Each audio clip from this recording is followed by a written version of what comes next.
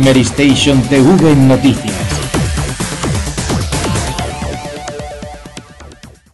Hola chicos, ¿cómo estáis? Soy Mireia Ferrer y estoy aquí para traeros toda la actualidad del mundo del videojuego. Dejad todo lo que estáis haciendo y prestad mucha atención porque aquí comienza un nuevo Meristation TV Noticias. 3DS confirmada para el 25 de marzo en Europa. Final Fantasy XIII tendrá una secuela directa. Crytek está segura de la calidad de Crisis 2. Nintendo 3DS saldrá a la venta en Europa el 25 de marzo. Así lo confirmó la compañía en la conferencia realizada en Ámsterdam la semana pasada. No se dio ningún dato sobre su precio final, sin embargo al acabar la conferencia varias tiendas españolas y europeas han comenzado a proponer precios de reserva a 249,95 euros. Square Enix anuncia Final Fantasy XIII 2. Tras el registro del dominio finalfantasy13 por parte de la compañía, los rumores sobre la aparición del título inundaron la red, pues hace unos días la gigante nipona confirmó el desarrollo de esta secuela directa de Final Fantasy XIII. El título aparecerá durante este 2011 para Xbox 360 y PlayStation 3. Nathan Camarillo se muestra seguro de la calidad de Crisis 2. Según el ejecutivo de Crytek, conseguirán crear la mejor experiencia posible al alcance de la compañía. No obstante, reconoce que hoy en día se necesita obtener una calificación de 90 o más para dejar huella en el género. Patcher considera que 3DS estará tan por encima de PSP2 como Kinect The Move. La razón, según el analista, es que la portátil de Nintendo es nueva y diferente, mientras que PSP2 parece que será meramente una versión mejorada de su antecesora. Además, cree que 3DS tendrá más éxito a la hora de capturar la imaginación del consumidor.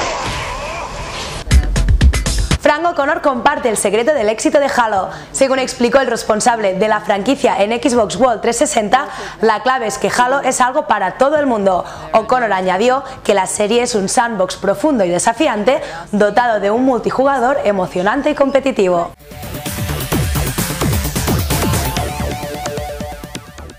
El exitoso shooter Black Ops recibirá en breve su primera expansión.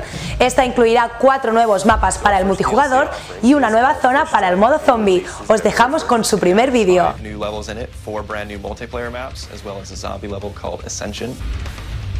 Kowloon is inspired by the single-player campaign level that was also set in Kowloon City, China, but the actual design and the layout and the geometry in the map is built from the ground up for MP. Kowloon is the only map that had... ¿Os habéis quedado con ganas de más? Pues no dudéis en visitar nuestra sección de vídeos.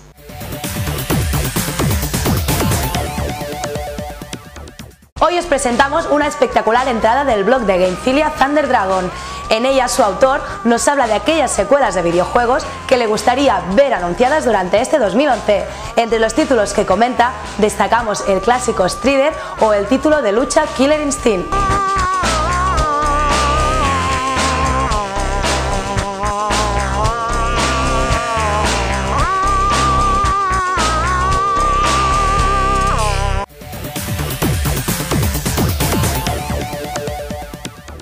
Uno de los aspectos más valorados de Final Fantasy VII es su banda sonora.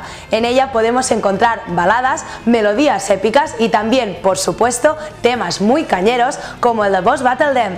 El autor de la estupenda versión que escucharemos a continuación es el usuario de YouTube Curry Quinton Fox.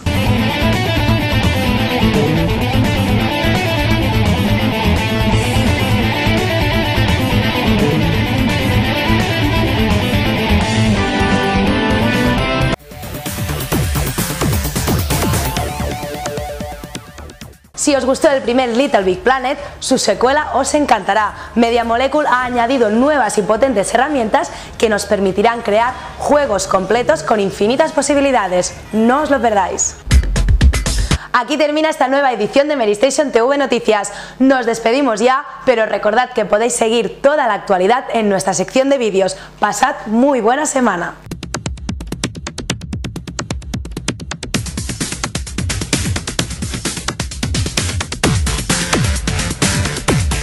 El autor de la estupenda versión que escucharemos a continuación es el Kurikichuwanchiwanching, es el usuario de YouTube Kirikington Fox.